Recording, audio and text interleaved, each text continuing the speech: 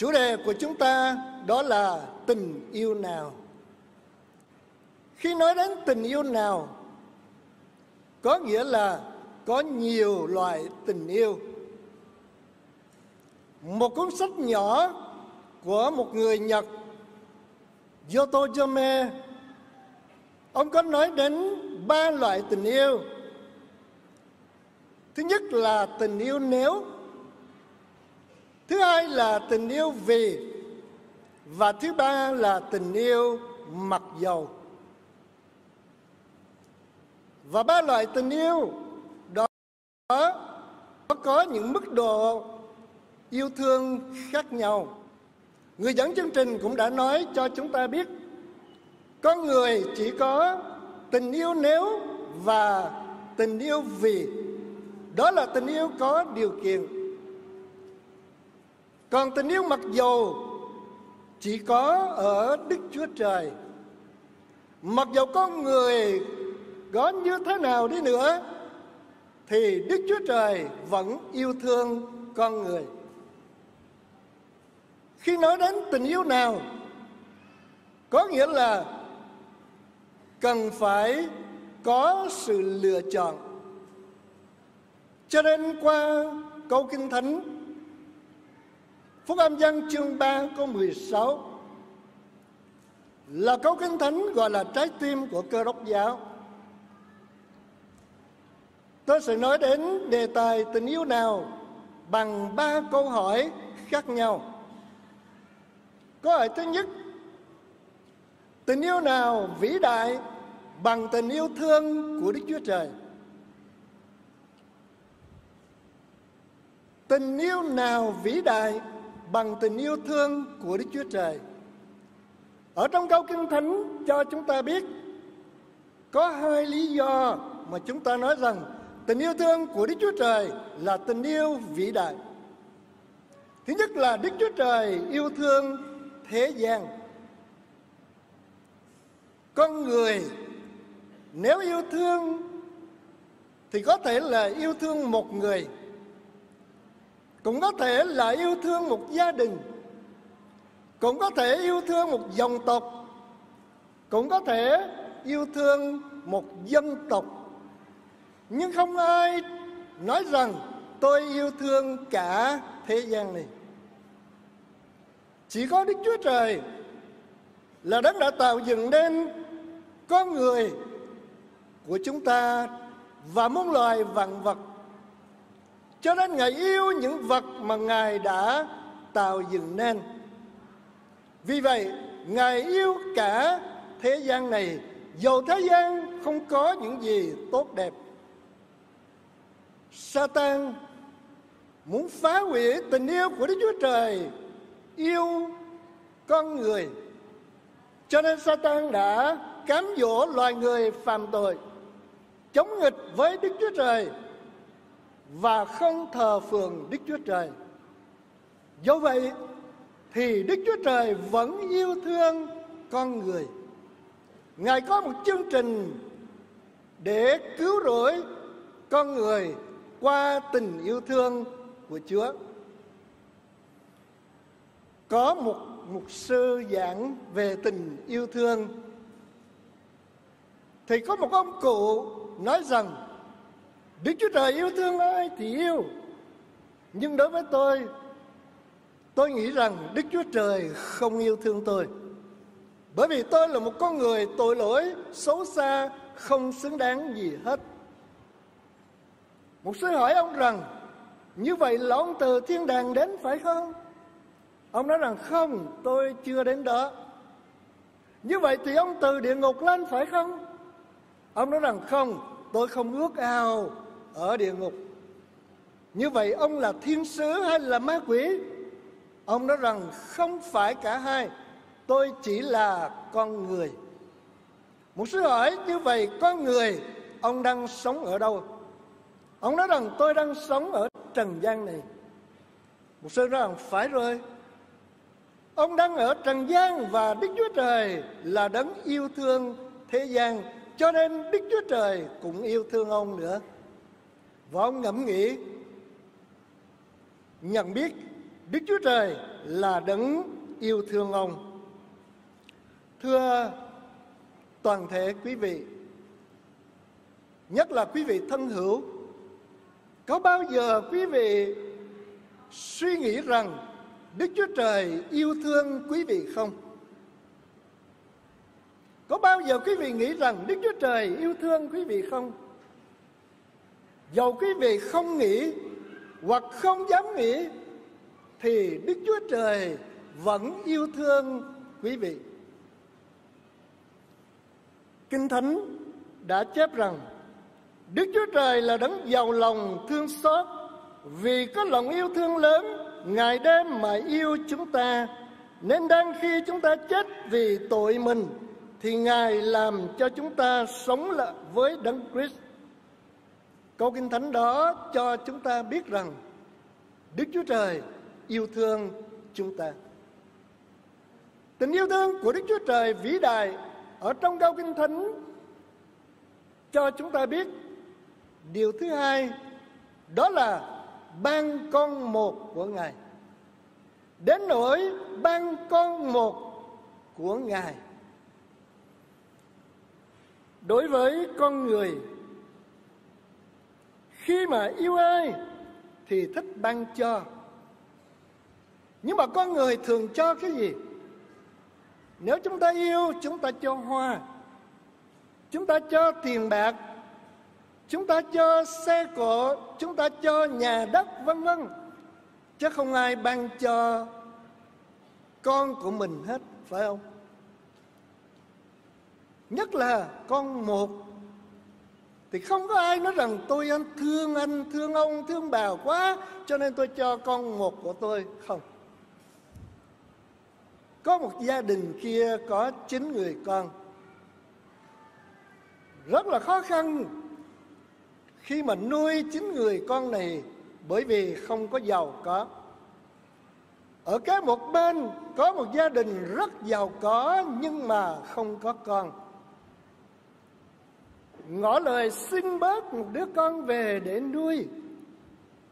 Cả gia đình thảo luận với nhau, nên cho đứa nào. Và cuối cùng, không cho đứa nào cả, bởi vì tất cả đều được yêu thương. Cho nên khó để yêu mà cho một đứa con. Nhưng chúng ta cảm tạ ơn Đức Chúa Trời, tình yêu của Ngài thật vĩ đại. Kinh Thánh chép rằng vì Đức Chúa Trời yêu thương thế gian đến nỗi đã ban con một của Ngài. Đức Chúa Trời ban con của Ngài là Chúa cứu thế Giêsu đến trần gian này. Để làm gì? Để trở nên một con người như con người của chúng ta. Và để chết ở trên thập tự giá đổ huyết ra để chuộc tội cho chúng ta. Đó là một tình yêu vĩ đại. Ngài ban con của Ngài là Chúa Cứu Thế Giêsu đến thế gian để chịu chết trên thập tự giá chuộc tội cho chúng ta. Cho nên tình yêu thương của Đức Chúa Trời không bút mực nào có thể mô tả được. Vì Đức Chúa Trời là đấng đã yêu thương thế gian. Câu hỏi thứ hai. Tình yêu nào đáng tin cậy bằng tình yêu thương của Đức Chúa Trời? Như phần mở đầu, tôi đã nói, có ba loại tình yêu tình yêu nếu và tình yêu vì là tình yêu của con người là tình yêu có điều kiện. Nhưng tình yêu mặc dầu là một tình yêu không điều kiện. Đó là tình yêu thương của đức chúa trời. Có người có thể nói, tôi yêu anh, yêu chị, yêu ông, yêu bà, vân vân. Nhưng có khi chưa chắc thật lòng yêu. Hoặc là cũng có khi thề non hẹn biển với nhau trong tình yêu. Nhưng rồi cũng có lúc phản bội. Một câu chuyện kể rằng hai người yêu nhau vào ở trong sở thú để tâm tình. Rất là nhiều lời thề yêu nhau trọn đời nhưng rồi thình lình, người ta hô rằng cọp sống chuông thế là anh chàng leo tuốt ở trên cây, còn cô nàng đứng chết chân ở dưới. Và khi lùa được con cọp vào chuồng rồi, thì anh chàng treo xuống và hỏi rằng, em có sao không? Chúng ta biết câu trả lời rồi, phải không? Cho anh chàng này leo cây luôn, phải không? Tình yêu của con người là tình yêu không đáng tin cậy. Cũng có khi con người yêu thần tượng. Cũng có khi con người yêu những vật mà con người tạo dựng nên. Và kinh thánh cho biết rằng thần tượng. Có mắt mà không thấy, có tai mà không nghe, có mũi mà không thở, có miệng mà không nói, có tay mà không rờ rẫm, có chân mà không bước đi được. Cho chúng ta thấy rằng thần tượng là một vật vô tri, vô giác, vô quyền, vô hồn. Kinh thánh kết luận rằng ai làm thần tượng và thờ thần tượng đều giống như thần tượng. Và có khi có người tin cậy vào giáo chủ, nhưng những giáo chủ ở đời này đều chết. Chỉ có Chúa Giêsu là đấng đã chết và ngài sống lại. Ngài mới có quyền để ban sự sống cho con người. Cho nên, tình yêu của con người đối với nhau không đáng tin cậy. Tình yêu của con người đối với thần tượng không đáng tin cậy. Tình yêu của con người đối với giáo chủ, đối với tôn giáo không đáng tin cậy. Chỉ tình yêu thương của đức chúa trời đối với con người thật đáng tin cậy.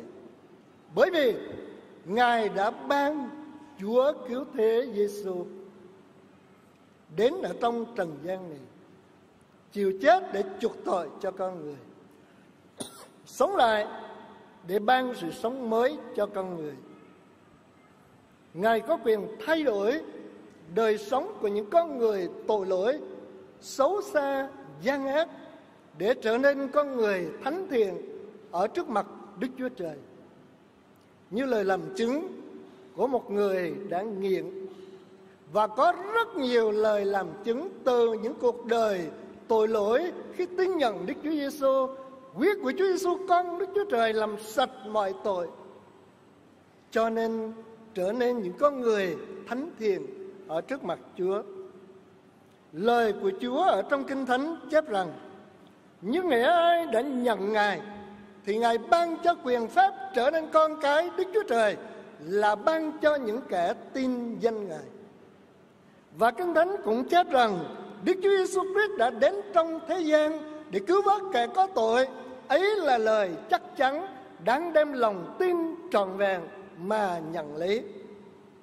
Thưa quý thân hữu, có thể trong cuộc sống của quý ông bà, anh chị đã từng tin đến một người nào đó, nhưng rồi đánh mất niềm tin của mình vì người đó không còn đáng tin cậy nữa. Có thể quý ông bà đang tin một tôn giáo, đang tin một thần tượng nào đó trong cuộc đời của mình, nhưng đó là những điều con người không đáng tin bởi vì không giúp ích được gì cho con người cả chỉ có Chúa cứu thế Giêsu đấng đã đến để cho con người tin nhận Chúa được tha tội và được hưởng phước hạnh từ nơi Chúa. Không có niềm tin nào đáng tin cậy bằng tình yêu thương của Đức Chúa Trời. Câu hỏi thứ ba, tình yêu nào đem đến hạnh phúc cho con người bằng tình yêu thương của Đức Chúa Trời? Câu Kinh Thánh chép rằng, không bị hư mất mà được sự sống đời đời. Nếu con người có yêu thương nhau thật sự ở trên trần gian này, thì cũng chỉ đáp ứng nhu cầu và đem hạnh phúc đến cho một người hoặc một nhóm người nào mà thôi. Nhưng mà đó là khi còn sống. Còn tình yêu thương của Đức Chúa Trời là một tình yêu thương đem đến sự phước hạnh cho con người. Phần cuối của câu kinh thánh này cho chúng ta biết rằng tình yêu thương của Đức Chúa Trời không để cho con người bị hư mất là câu hỏi tại sao con người bị hư mất? Kinh Thánh cho biết rằng, vì loài người đều phạm tội, thiếu mất sự vinh hiển của Đức Chúa Trời. Và Kinh Thánh cũng cho biết rằng, tiền công của tội lỗi là sự chết, nhưng sự ban cho của Đức Chúa Trời là sự sống đời đời trong Đức Chúa Giêsu Christ, Chúa chúng ta. Vì con người phạm tội chối bỏ Đức Chúa Trời. Cho nên vì phạm tội con người phải chết. có người phải bị hư mất đời đời. Từ hư mất mà Kinh Thánh mô tả, đây là một điều rất kinh khiếp hư mất cả thể xác lẫn linh hồn đời đời và sự hư mất đó đem con người xa khỏi sự hiện diện của Đức Chúa Trời. Sự mất đồng nghĩa với sự hình phạt ma quỷ đời đời ở trong hỏa ngục. Những khi tin nhận Đức Chúa Giêsu thì Kinh Thánh cho biết rằng hiện nay chẳng còn có sự đoán phạt nào cho những kẻ ở trong Đức Chúa Giêsu Christ. Đó là phước hạnh. Khi tin nhận Chúa, nhận được tình yêu thương của Chúa, con người không bị hư mất đời đời trong hỏa ngục. Phước hạnh thứ hai mà câu kinh thánh này nói đến đó là được sự sống đời đời. Không có tình yêu nào ban cho con người hưởng được sự sống đời đời. Chỉ có tình yêu thương của Đức Chúa Trời mới đem con người đến sự sống đời đời mà thôi. Kinh Thánh cho biết sự sống đời đời, tức là và sự sống đời đời, tức là nhìn biết cha, tức là Đức Chúa Trời có một và thật cùng Đức Chúa Giêsu Christ là đấng cha đã sai đến.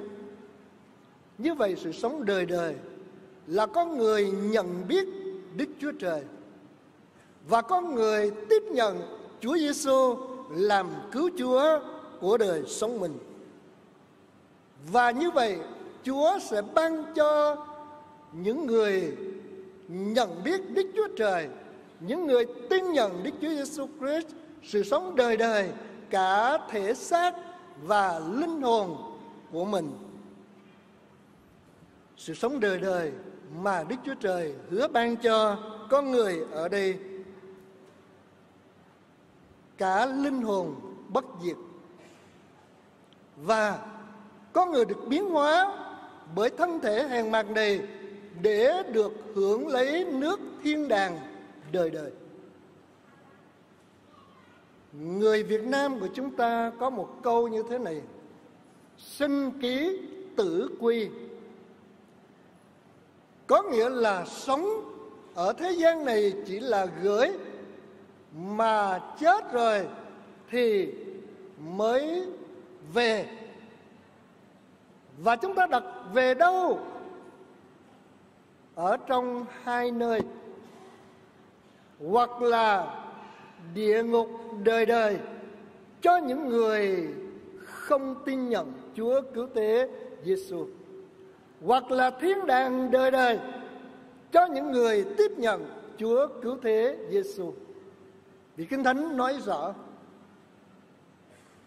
nếu tin nhận Đức Chúa Giêsu thì không đến sự phán xét, nhưng đến với sự sống đời đời mà Đức Chúa Trời dành cho con người.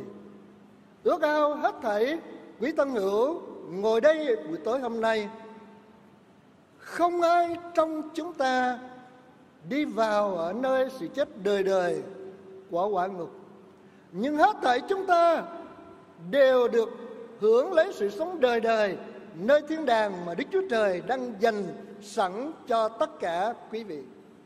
Và tối hôm nay là một cơ hội rất quý báu để quý vị có thể chọn cho mình tình yêu nào. Tình yêu nào vĩ đại hơn tình yêu của Đức Chúa Trời? Tình yêu nào đáng tin cậy bằng tình yêu thương của Đức Chúa Trời? Tình yêu nào đem đến phước hạnh cho con người bằng tình yêu thương của Đức Chúa Trời? Có lẽ trong quý vị cũng đã chọn, và đó là điều phước hạnh mà Chúa dành cho quý vị tối hôm nay. Xin trân trọng kính chào toàn thể quý vị.